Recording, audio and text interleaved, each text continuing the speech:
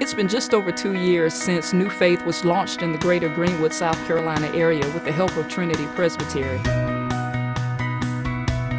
The vision to begin New Faith actually started when we realized the need to reach unchurched and dechurched persons in our community who were just looking for a place to feel welcome and accepted.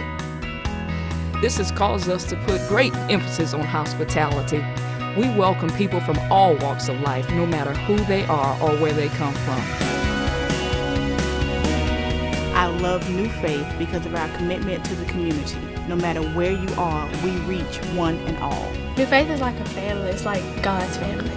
For me, it's the praise and worship. That really sets the tone for the whole service. Which special to me are the kids. They love coming here and they love the Lord. It's the love of Jesus Christ. It's in the pastor, it's in the members, it's in the church, it's everywhere.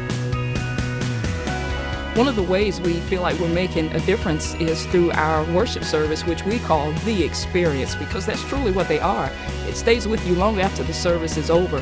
People use words like engaging, energetic, and interactive to describe their experience. When people come to New Faith, they expect to be changed by the Word of God. It's the atmosphere. The worship service led by the Holy Spirit captures all ages.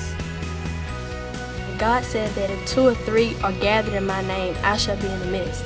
So when we're all here and we're all together, we get to be in that, embrace God's Spirit.